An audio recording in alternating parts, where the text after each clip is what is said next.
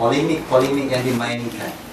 Saya melihat uh, kita menyentuh sedikit uh, konflik antara bapa dan anak.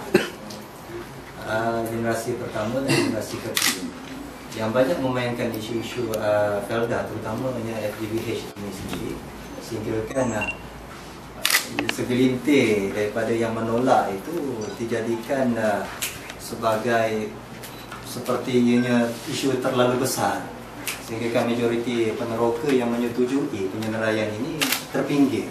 Ya.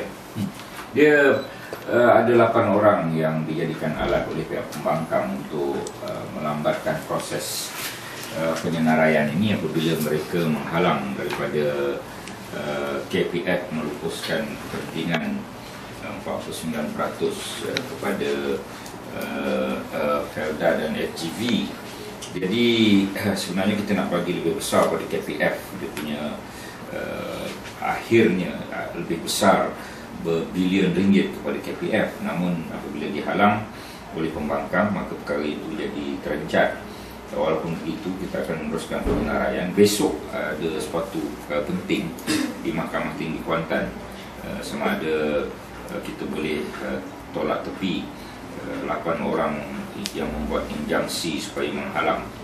Jadi sebenarnya beginilah uh, detail-detail itu tak apalah. Yang pentingnya uh, kita nak bagi keuntungan pada peneroka dan generasinya serta Felda. Itu perkara penting. Dan uh, pada pandangan saya, oleh kerana nak bagi untung pada peneroka dan generasinya, uh, pembangkang khawatir sebab mereka akan rugi. Peneroka untung, pembangkang rugi. Rugi yang bagaimana tu dah? Rugi politik lah. Dan ada 54 kawasan parlimen yang ada Felda. 54 kawasan parlimen yang ada Felda. Dan ini sama dengan suku, satu per empat ataupun 25% daripada 222 kawasan Felda. Uh, jadi kalau mereka tidak dapat tembusi dan pecah kawasan-kawasan ini, uh, maka mereka nak mengentah Malaysia ini payah. Uh, itu sebab mereka pecahkan segala perkara tak baik je lah apa yang kita buat ni. Tapi kemudian terbukti ia jadi baik. Uh, contoh apa? contoh uh, Jambatan Pulau Pinang. Ya. dulu kata gajah putih lah apa semua sekarang ni dah minta yang kedua? tengah buat.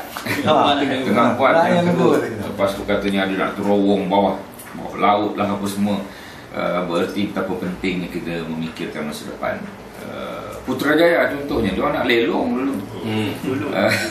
Sekarang ni tiba-tiba Bobo rebut nak pergi ke Putrajaya.